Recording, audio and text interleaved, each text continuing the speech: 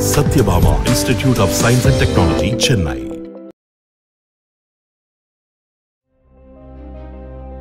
தெருக்களில் சுற்றித் திரிந்த இரண்டு தெருநாய்கள் சிறப்பு பாஸ்போர்ட் மூலம் விரைவில் வெளிநாட்டுக்கு செல்ல உள்ளன.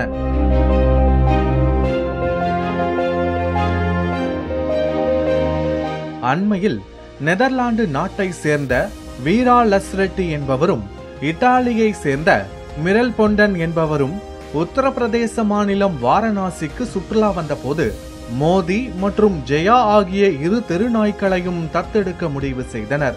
நாய்களை தத்தெடுப்பது குறித்து வாரணாசி விலங்கு பராமரிப்பு அறக்கட்டளையை இருவரும் அணுகியுள்ளனர்.